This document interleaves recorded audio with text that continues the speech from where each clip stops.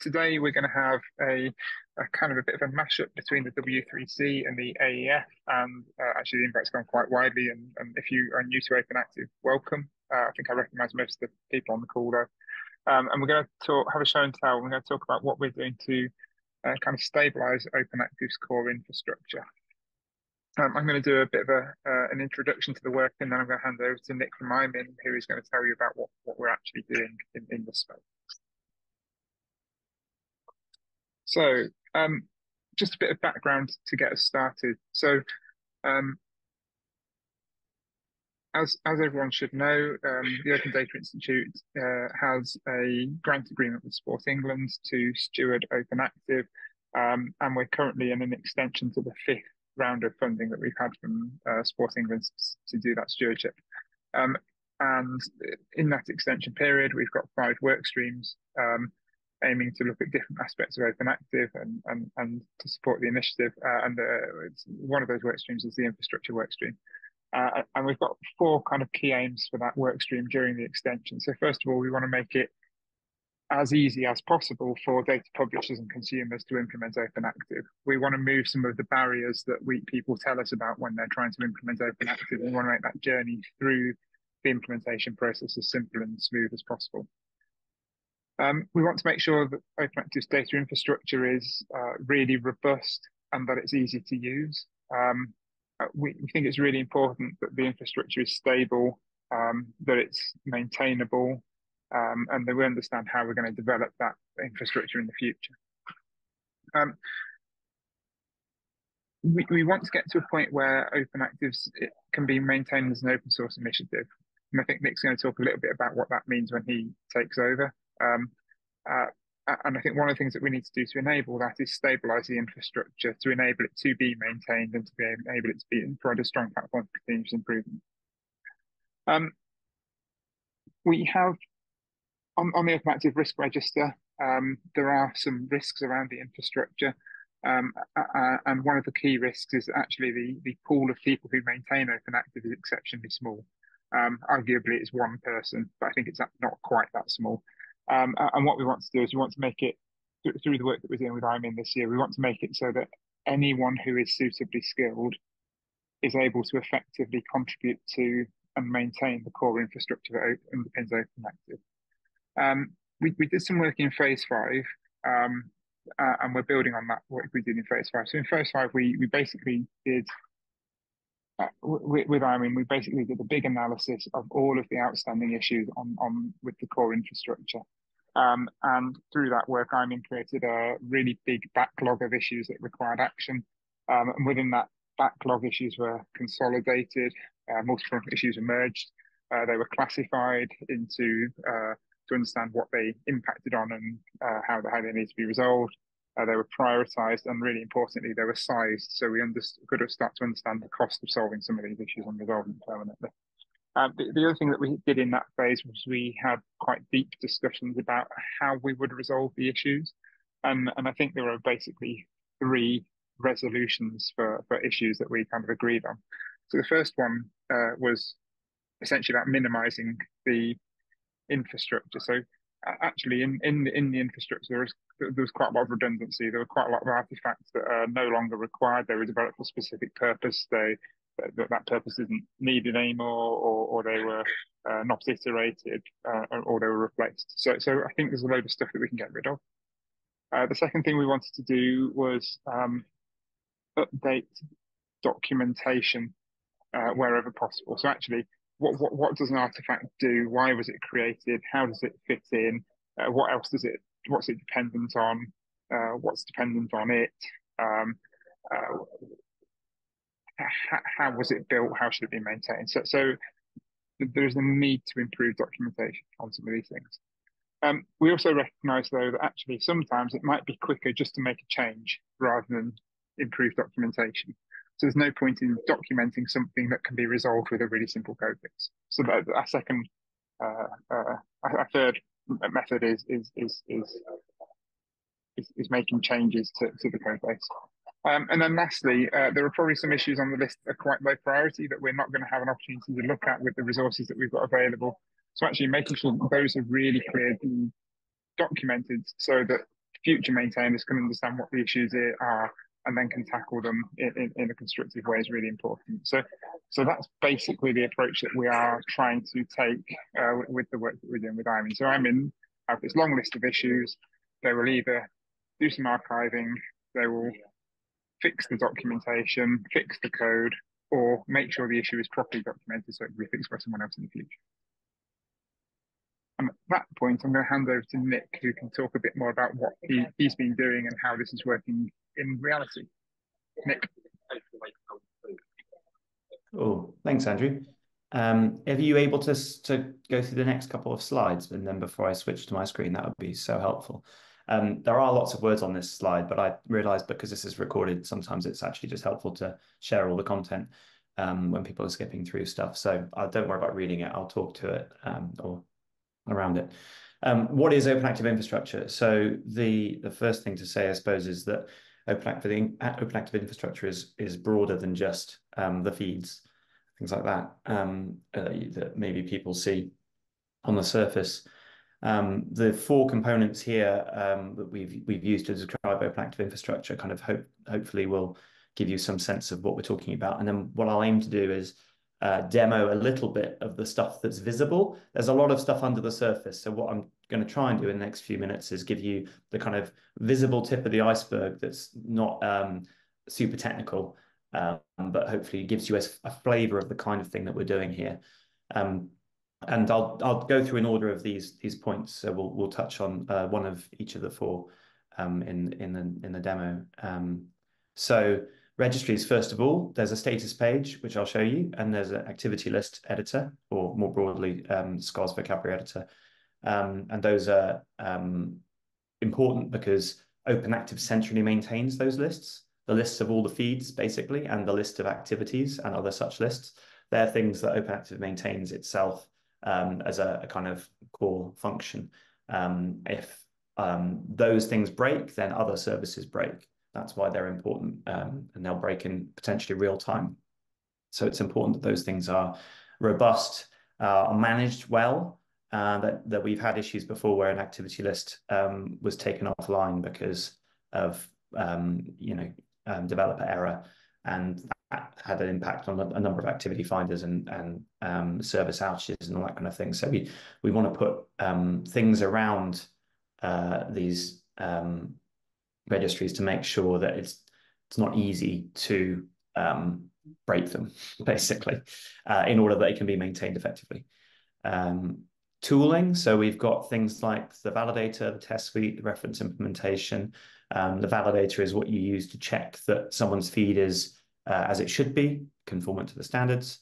Um, the test suite is um, something that checks for a, a, deeper dive into the feeds and also uh, bookability of the um, of the implementation. And the reference implementation is um, the ideal, well, uh, an example of an ideal um, build of something that's that's um, integrated open active as a, a data publisher. And so they're, they're really helpful for if anyone is building something, basically, if they're gonna if they're gonna build OpenActive into their system, follow to the test suite reference implementation are what's used um, for doing that. Um, libraries, so this is where someone is um, building OpenActive into their system. This gives them a kind of leg up in that process, so helps them to build things um, quicker. A lot of the heavy lifting has been done for them in these libraries, so they can kind of take them and use them like plug into their system, and then that should make it cheaper to implement OpenActive, which ultimately lowers the barrier to entry. Um, and finally, documentation, as Andrew mentioned, um, making sure that it's clear um, documentation for developers who are implementing OpenActive, but also, and I'll come on to show you, the focus is on making sure that anyone can pick up and maintain OpenActive, and that's slightly different to developing um, something that that is compliant with OpenActive because OpenActive, as you can see here, is a, is a bunch of things that are actually nothing to do with the systems that have implemented the, the code. Um, so it's important that the documentation is um, uh, reflects that and is suitable for those other audiences. So if we can give you the next slide, yeah. Um, why is this so important? I think it's really important to say this, and I, I think this is probably helpful if you know as as uh, the years go by and OpenActive continues to be maintained. um, to be realistic about the maintenance cost of something like this. So, um, and this isn't this isn't uh, my opinion. This is something that is um, is uh, has come from that uh, uh the working in public um, uh, book that um, as as includes a bunch of studies and references. Um, one of the things that was really interesting to see in there, um, and is probably something that everyone thinks maybe intuitively, but just as evidence, is that um, maintenance software needs maintenance. It's not like um, I don't know what what an example of something that wouldn't need maintenance is. Um, uh, because most things do. Even if you have a shed in your garden or a lawnmower, you need to maintain it, or a car, you need to maintain it. I mean, most things do need maintenance. Um, I suppose it's not like a painting, maybe, maybe even that needs maintenance, but you know what I mean? Where it's done, the art is created and then it just sits on the wall and you, you touch it again for, you know, 30, 40 years. Um, software is more like a car. It requires that maintenance to keep it on the road, keep it working. Um, it will wear in parts if it's not maintained. And so um, it's important to be aware of that because, because we've built Open Active and the stuff we've built is there, but it will degrade if it's not maintained um, two types of maintenance costs, the marginal costs, which is when people find um, bugs and things like that, uh, to fix those bugs, to make sure that any gaps that are found in the software are, um, are, are dealt with somehow, either by explicitly out scoping something so that everyone's aware of what to do with that, or they're included and added in as a new feature. Um, and there's also the temporal costs, which are the software is moving all software is moving, constantly evolving. You've probably seen all this, the AI stuff around at the moment. Um, there's there's always new stuff in software, and old stuff doesn't work anymore. If anyone's had an iPhone from like you know iPhone five or iPhone four, you'll notice they don't work anymore. It's exactly the same with this. Um, the reason iPhone stops working is because the software goes out of date. It's the same with OpenActive. It will stop working if it's not maintained. Um, and so they require requires updates to keep it um, up to date with the ecosystem around it. As all software moves forward, OpenActive needs to move forward with it. Um, and interestingly, 42% uh, of the developer time for the company Stripe, which is a payment gateway, is spent on maintenance to give you a sense of the scale of the need here. This isn't a small thing. This isn't like, oh yeah, well, someone can spend one day a week on it for, you know, and that will be enough. Um, it does need dedicated resource. Um, and if, if, that doesn't happen, then the software will degrade and it will it will not become it will not be usable. Um, so that's the next that's this next slide. Um, so three uh, just quickly to give you a sense of uh, these these definitions. Um, the three types of um, technical users that will interact with the software with the, the with the infrastructure. Um, starting at the bottom, you've got users. They're the people that will build OpenActive stuff. So someone that wants to go and build OpenActive into their system, that's a user. They will just have a very light touch experience with some of this stuff. They'll use the validator, they'll use the test suite, they'll use the documentation, they'll go in, they'll build their stuff, and they'll they'll get out. Ideally, as quickly as possible. You know, within a few weeks, they'll go in, use it, and leave. That's the user. Contributor um, are those are folks that are a little bit more involved. Um, and we've been fortunate in OpenActive to have a number of contributors over the years um, and they will do more than just use it. They will suggest changes. They may fix bugs. They may contribute things, but the contributors generally don't have a sense of all of the infrastructure. They just have a very narrow view of the thing they're working on. So they might fix a bug, but that fix might not work properly.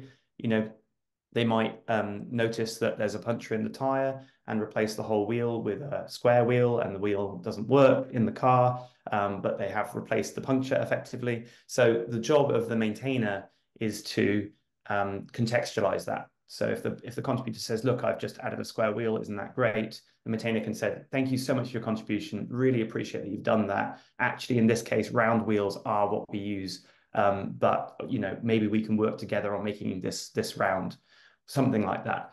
Um, because the best intentions of a contributor, without all that context, don't necessarily translate into something that's useful. And so that is the maintainer. The maintainer, um, the number of maintainers, um, usually in open source software, there are you know two or three maintainers. Some of the big projects um, that are used, there are only a handful of maintainers. Um, so it's kind of like a a pyramid, if you like. Lots of users, lot, um, many contributors, and a few maintainers. Um, so we're not expecting the maintainer pool of open active to be large, especially considering the, the technical expertise in the sector in general compared to other sectors. Um, just because of the shape of the sector, there's less tech folks around.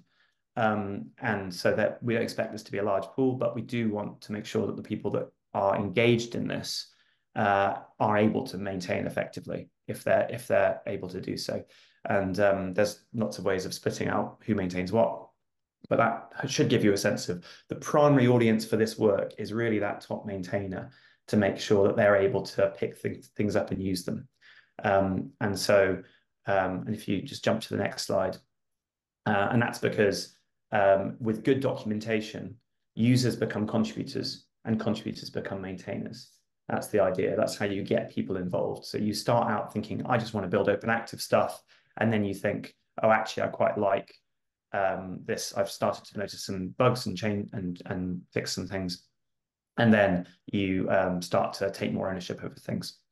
Um, and um, Nathan on the call is a good example of a maintainer who has come through that exact uh, those steps. Started out building, uh, then went to contribute, and is now maintaining um, the PHP uh, repositories that are in the the Open Active um, code base. Um, um, and uh, if if uh, open source has funding or sponsorship, that usually goes towards maintainers. Um, sometimes uh, maintainers contribute, as in Nathan's case, because there's a reciprocal business interest in that. That's how Google contributes to a bunch of open source projects, as others do. So there's a corporate case for that. Sometimes businesses effectively sponsor it. In this case, that's what Playfinder is doing. Um, but in in in other cases where there is funding um, for specific work, um, and that generally is where it doesn't align with any of the businesses' interests that are engaged um, directly, then it's the maintainers that are funded. The contributors and users generally are not. So that gives you a sense of kind of where we're going here in the future. Open source um, maintainers that might get involved in this may be paid, maybe because of a reciprocal arrangement like with Playfinder, um, are able to fully engage. It's a whole spiel there. Um, so I think that is that the last slide, Andrew? Yes. Amazing. So if you wouldn't mind, I can just share my screen to show you some things. Oh, sorry, before we do that, is there any questions on what I've just outlined from anybody um, before we move on?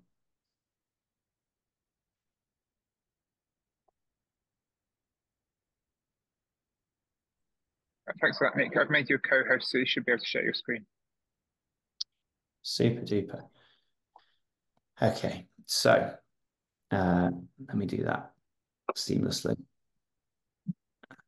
And apparently stop the other screen sharing at the same time.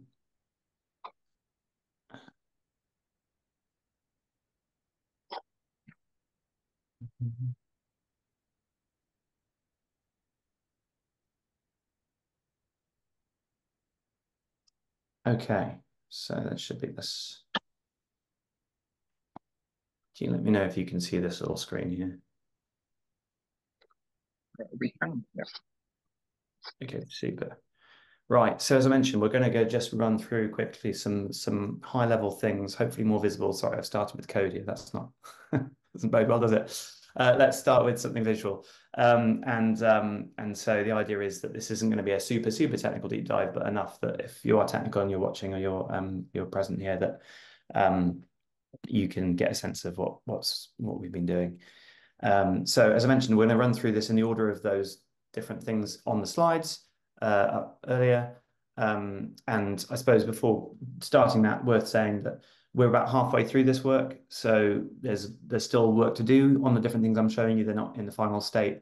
Um, and um, as I also mentioned, this is kind of the, the visual tip of the iceberg of stuff that we've been doing. So it's by no means representative of everything um, but hopefully the more visual things that we can um, use to, to get an understanding of the kind of stuff we've been doing. Um, the, the aim of, of this, uh, I don't think I said it earlier, is, is stable state. Uh, so what that means is um, in order for a maintainer to easily start to work on something, it, it's ideal it's already working. If you can imagine a mechanic trying to fix a car, if the car isn't actually working, that you can imagine the bill that will come back from your garage, right? It could be anything wrong with that car. There could be a lot of stuff to replace and fix. Whereas if the car is on the road and it goes in for an MOT and there's a couple of things to tweak, That's a different ballgame. Similar with this, we want to make sure that everything is roadworthy, is running well, and therefore when the maintainer comes to fix something, they're not looking at it going, oh my goodness, we're going to need to completely rip this up and start again because it's just a mess. We want them to think, okay, I can get this. I want to, I want to contribute and I want to, I want to make some changes. Um, so the first example of that is the status page. Uh, so the status page, uh, you might have seen this already. It's it's been live for a few weeks now. Um, this is an example of something that we have um, improved the maintainability of. And so you might notice it's slightly visually different from what was there before. Um, it now includes the logos. Some of the issues and the errors are, are coming through here from um, the different um, things that it's checking. Um, but the, as an example of maintainability, the status page was previously thousands and thousands of lines of code across multiple files and multiple projects. It was actually a very complicated thing. And um, unnecessarily so, actually, because of the way that things have evolved. Uh, it was kind of a bit of a legacy. So if someone was to look at that and go, I want to make this change, actually, they would probably be confounded as the ODI's own internal team were as evidence of this for some for some months, actually even years. I think it's been a few years since the ODI um, started to think about fixing the status page, and since and and and haven't actually prioritized that work yet. And I think that just goes to show that even with dedicated resource, there's a barrier here. If if the thing isn't written well, that is it's difficult to get you know to get over, and you end up prioritizing other things just realistically. And so um, this is the new status page uh, in code. Uh, the reason I show you the code is to show you that it's 139 lines long. Um, so we've gone from massive, complicated stuff to simple, and you can you can read it. And obviously, those non-technical people in the, on the call might think that still looks complicated, um, but the technical folks would probably appreciate the size of this in terms of getting your head around it um, and trying to understand what's going on. Um, one clean page of code that means you can get you can understand what's happening um, and, and why um, is, is going to be very helpful. So um, an example of maintainability, someone wants to fix that, add something, they can easily have a look at that and, and, and make those changes. Um, and that's also meant we can just get rid of all the other code that we had before. So we don't need that anymore. Put that in an archive somewhere and, and probably never touch it in the scrap heap of, use the car analogy again, scrap heap of old parts. Um, and um, so as we were doing that, we also um, took the opportunity to improve some other things. Um, and again, to make it easy for the next folks to come along to see what's going on. A challenge with Open Active has been there's some feeds that aren't visible to the community that are kind of ready, but not really. Um, and that's been a problem because not everyone's aware of that. And in terms of maintainability, it's not helpful to have information in silos. So what we've done is introduced um, a couple of new data catalogs. So what I'm showing you now is all the live data amazing how much live data there is in OpenActive. Um, now it's it's really, really encouraging how many feeds there are. Um, and if I scroll down to the bottom, you can see that there's also now a section of uh, preview data. This is data that's not quite ready, um, but but is usable if someone wants to pick it up and start integrating it into their products. Um, there's various reasons why it's not ready. Those those reasons um, should be found in the issues related to the, the data set. They're not all at the moment. That's more work for us to do to make sure that's well documented. Um, what the gaps are so people can see that. Uh, but generally, that's the that's the improvement we've made there. Um, and there's also some test data. I mentioned the reference implementation. That's now visible in the same way. So you can um, easily find that. Um, and all of this is available as um, machine readable files as well as what you can see visually here. So um, a good example. And the data catalogs have been updated as the machine readable files have been updated just to show you for um, the same. Um, so next maintainer comes along, um, they'll be able to see the data that hasn't quite made it yet and hopefully pick up the issues on the backlog and help to move them through to, to working properly.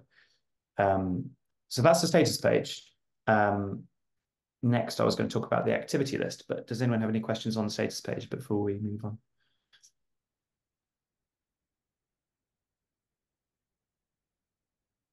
All good. Okay. The whistle stop tour continue. Um, right. What was the activity list before? Well, it was interesting. The old one, um, aptly labeled, um, had uh, 9,352 changes that had been made to the activity list in its history. Now, you might imagine that the activity list has been busily edited, but perhaps not to that extent. Um, so that's probably not the complete representation of what was going on there. The reason for this is we had some very, very uh, quick and dirty emphasis on dirty automation that was adding new changes to this list of changes every day, even if there were no changes. Um, again, a maintainer comes in and thinks, goodness, what's going on here? This is not quite clear and difficult to get my head around. It takes a bit of time to figure that out. Um, so what we've done is we've actually gone through and removed all of those changes. So there's now 326 changes total over the last um, six years or how many years it's been. Um, and that um, is uh, a better representation of um, what's what's been going on. Um, we've also um, improved it so that you can see the specific changes, which I'll talk about. Um, I'm not sure why that's erroring because it shouldn't be. There we go. Anyway, um, so the activity list, uh, as it as it was here, as it still is, you might recognize this page. What you've done is we've added a change log so when you go to the change log, you can now see the releases, which are um, in GitHub of each of the changes. It automatically tells you what has been added and removed. So every time someone makes a change to the activity list, um, whoever's maintaining it, whatever committee is in charge of it at that time, um, you can see exactly what's been changed. You can see the um, author of the change. Um, and you can also, for the technical folks, you can see an associated pull request um, where those changes are uh, documented and also where you can actually go in and see the changes in the file itself. Um, and so that that's the level of traceability that someone would probably expect coming into this project, rather than going, okay, there's thousands of commits. Where do I even start here? You know, um, actually, if you look at the um, the releases now, also the pull requests now, um, there's there's not many. There's 22, I think, or something, uh, 22, 21 different updates over the period. And so it's much clearer now, and those releases are all documented, um, and they go all the way back to the beginning of the activity list in 2018. Um, so again, that's that gives people confidence in the process, and also it's a single button press. So what previously was a little bit of a complicated process to do this, um, if you are a maintainer of the activity list, you can now click Publish to Open Active, and if you press Publish, if you press Confirm, which I won't do now, that will export the list, create the PR, um, create the release, everything automatically. And so, um, and you'll notice I actually accidentally jumped onto the facility type list there. So that's, um, uh, and that's to uh, accidental segue into saying that previously the activity list was um, just the only editable vocabulary and everything else was done through weird spreadsheets and things that were easy to break, basically um, without this level of rigor around the, ch the, the, change management process. Um, and there's a number of vocabularies in Open Active. Facility types is another one. So this is now applied to all uh, lists, and they will have a change log, and that change log includes the releases. So this is the facility types list change log, same thing, um, which is a, a, massive improvement on what was there. Um, to take that even a step further, previously, if you wanted to create a new vocabulary in Open Active, um, which was attempted, I think, two years ago when someone um, we were talking about trying to create uh, a, a, new um, disabilities, you know, um, uh, vocabulary. Um, what happened there was it was so difficult to do that everything was copied and pasted in a very unmaintainable way, um, and therefore the new vocabulary was created, but then was left to into it was just left to kind of rot in the scrap heap of things. Um, and that's just an example of what was previously there and why that was unmaintainable, because that's what happened to it. Um, so by contrast now, we've got this uh, setup where there is one, um, you can see it here, um, staging environment with the vocabulary editor. And every vocabulary now has its own vocabulary editor. Um, and all of those um, are maintained at the same in the same code base. So if someone makes a change to this, to this that change can be rolled out to all the editors at once. Um, and those editors are uh, set up so that they can be, um, um, yeah, it's all it's it's basically reducing the code base by half because previously it was all duplicated. So now we've got half the stuff and it's configurable and it's serving six um, different lists where previously it was only serving two. Um, so that's um, a good example of of that and the releases. Um, any questions on activity list before I speed up a bit and cover some other things? Do I have a quick question actually? Um, now we've updated this, is this all still available at the same um, JSON URLs? Yeah, absolutely. Cool. Yeah, totally. Hopefully seamlessly. I think the downtime was like 30 seconds in the in the process, but yeah, that's right. Um, yes, uh, all the, the idea of, of, these changes is a lot of behind the scenes stuff that doesn't have, have an impact on the users, uh, technical users. That's good. Okay, super. Right. So um, into the tools then. So that's given you a sense of the kind of things we've been doing in the activity list. Um, and then, and that's the, um, the last of the registries. So onto the tooling. Um, the test suite we talked about before. Um, we've made a number of changes to the test suite. Um, a lot of them are behind the scenes and probably only a few folks on this call will fully appreciate them. Um, things like um, properly running in Docker, better error messages, um, making sure that it runs in VS Code in the little um, little window, terminal window, um, uh, properly, and um, and other documentation around it. But the uh, an example to show you that's quite visual is the error messages. So previously, um, and again, some folks will have remembered this, you have to do a lot of scrolling when you're interacting with the test suite. You are constantly going up and down a file, which is pages long. You probably were previously scrolling up and down like this um, and maybe 50 pages of results, which is quite difficult when you're trying to develop something to find out what the actual problems are. So one of the things we've done here to improve it, um, which is, and again, from a maintainability perspective, something that we were able to easily do because we understand the test suite well, whereas uh, the next maintainer would find it more difficult to implement this type of thing um, because it did require some some um, changes um, that were quite significant to do it. So now, um, when you see uh, a test result, as this is an example of one, the error is displayed quite clearly and uh, everything that works is hidden.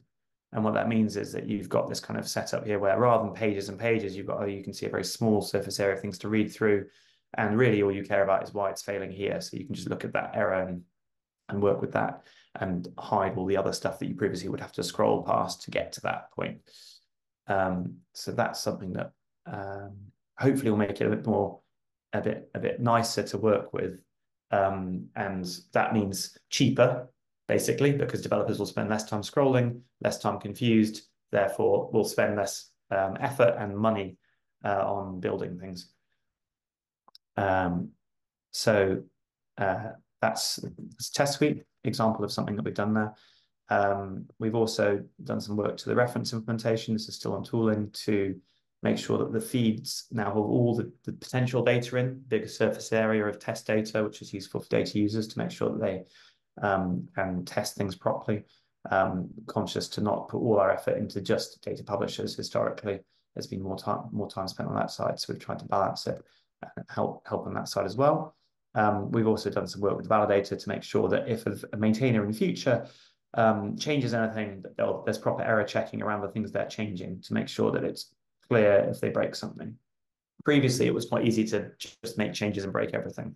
So we've tried to do some things in the background to help with that as some examples, but I can't really show you that as easily. Um, so that's the end of tooling. Um, and I've quite quickly got documentation to cover, but does anyone have any questions on tooling before we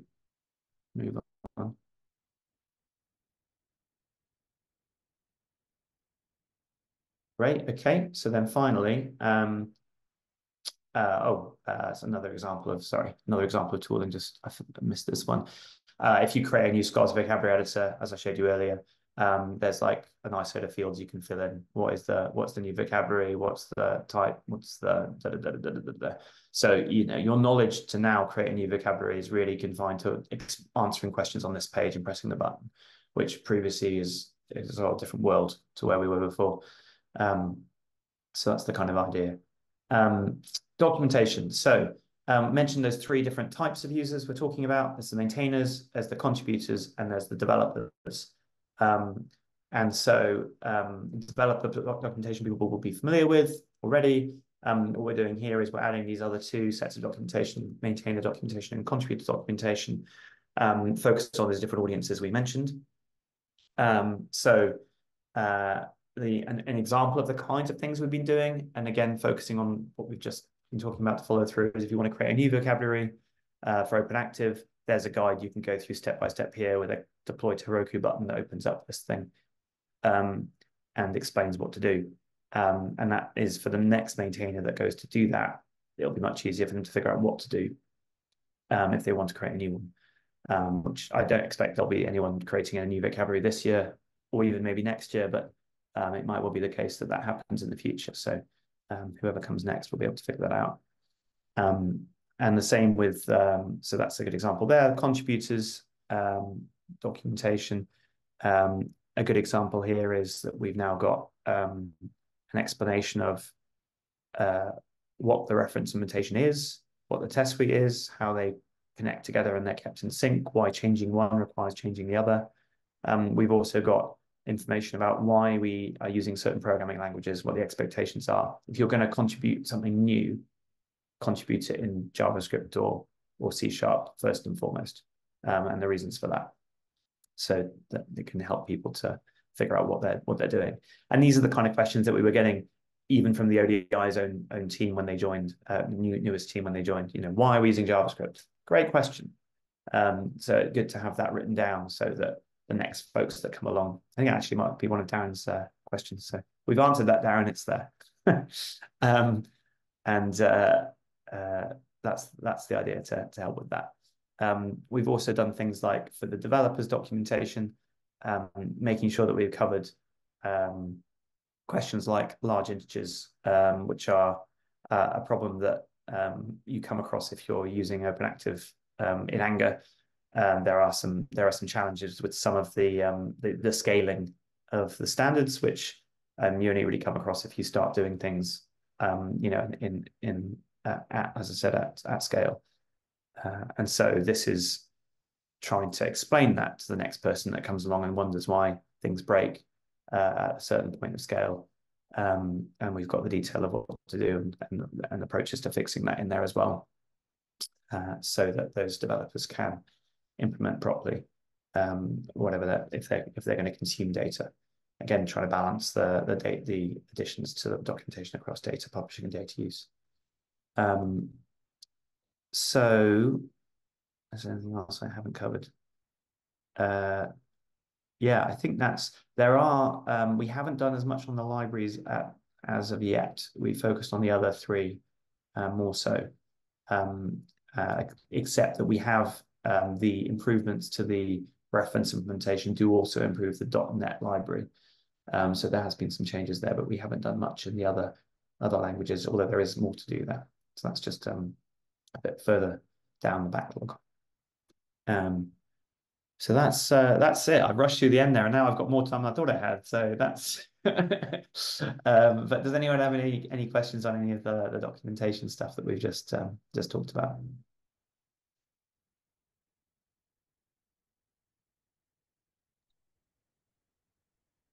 That's that's great. Thank you, Nick. Uh, I think it's a really helpful run through, and hopefully people uh, can see and appreciate that the work that you're doing is, is as you say, stabilizing open active and making it more maintainable for the future. Um, so, does anyone have any questions for for Nick or for the ODI team at this point?